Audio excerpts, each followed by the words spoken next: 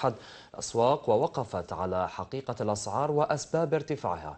مع إبراهيم برقاش في هذا التقرير. في جولة قادتنا لإحدى أسواق السيارات المستعملة بالعاصمة لاستقصاء حقيقة ما يشاع حول التهاب أسعار المركبات مع استمرار تراجع قيمة الدينار خاصة وأن الأصداء الواردة تتحدث عن حركة عرض وطلب استثنائية. اللي يحب يعالج أخويا بالأعشاب يا وتوكل على ربي. يتكل على ربي سبحانه وبدخولنا السوق كانت علامات الدهشة بادية على وجوه زوار السوق فالأسعار ملتهبة.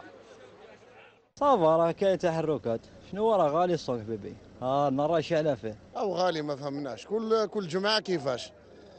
آه ما قدرناش نشرو. طوموبيل كانت دير 100 دير 125 السوق راه هامل يا خويا وغالي بزاف. طوموبيل في الجديد كاع زادوا 20 مليون.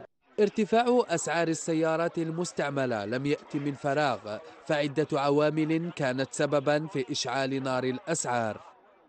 على جال هذا اللي ال cahier de charge جديد راهم يهضروا عليه زعما التقشف. c'est normal جديد كي ما يكونش كاين في la maison.